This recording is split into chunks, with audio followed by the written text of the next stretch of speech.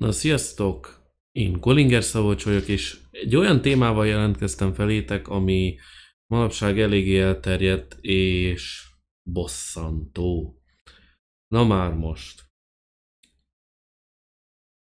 Vannak a videós témáknak, illetve a videózásnak jó és rossz oldalai.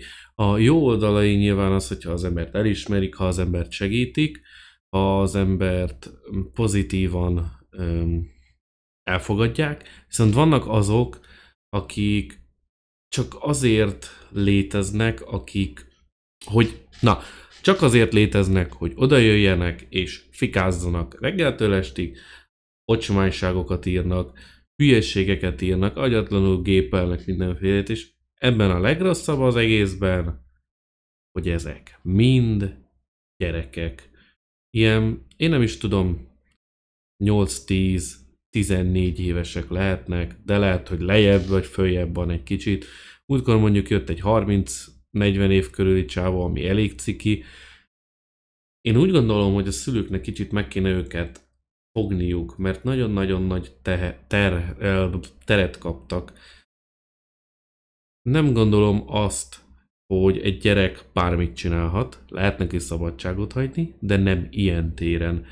Például én felügyelném azt is, hogy a gyerek éppen mit csinál az interneten. blog nem is engedném, hogy internetezzen, de ez részletkérdés. Felügyelném, hogy ne csak úgy random írogasson, nem más idegeneknek, hogy öltő szar vagy, meg ilyen geci vagy, meg olyan geci vagy, meg Szóval ó, nagyon ocsmány dolgokat tudnak írni, és, és sértő. Sajnálom, de ez sértő. A másik pedig az, hogy, hogy szerintem amellett, hogy visszafogjuk a gyerekeket, kicsit tanítani is kéne, mert, mert porzalmas hülye helyesírási hibákkal tudnak létezni. Olyan, még a sértést is olyan szinten alulírod, olyan, olyan hú, kegyetlen, szóval okés, hogy 8 éves, de basszus, nem már. Hát még az unokahogum is szebben ír. Ne csináljuk már ezt.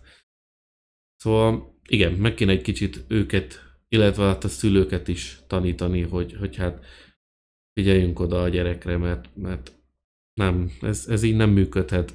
Én úgy gondolom, hogy a YouTube, társ, a YouTube társulat nagyon elkorcsosult, nagyon-nagyon a kicsik át akarják venni. Nem tudják átvenni, mert nincs, nincs ilyen, csak ez a folyamatos zsörtölődés, ez a folyamatos kap be a faszom kategóriát.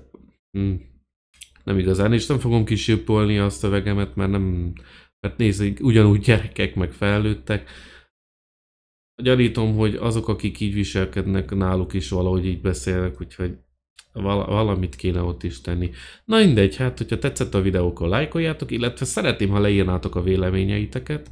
Én Kolinger Szabolcs vagyok, legyetek jók, ha tudtok. Sziasztok!